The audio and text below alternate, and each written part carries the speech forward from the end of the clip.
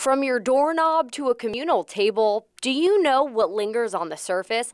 Early researchers by scientists at the National Institute of Health suggest the virus could be detected up to three days on plastic and stainless steel. Here's Professor Sean Banai from Old Dominion University. Somehow between three to up to nine days, that's what I was hearing on different surfaces and on, on plastic, on wood, on, on steel, or even on clothing it has not the same lifetime. Banai says how long the virus lasts depends on different surfaces and environments. One is moist, one is temperature, for which for, which for corona it sounds that they're like lower temperature. So even as the weather changes, researchers could learn more.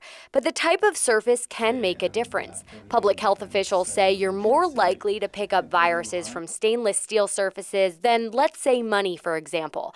That's not to cause alarm, just awareness. While these studies may be ever changing and at times conflicting, one thing seems to ring true. But this one is very aggressive and is why it's happening right now. Which is why prevention is so important. Disinfecting surfaces that are frequently used, like keyboards or desks, and any shared areas. Killing the virus before it spreads can make all the difference. Everybody needs to understand the fact and how they, they can prevent them themselves. In Norfolk, Erin Miller, News 3.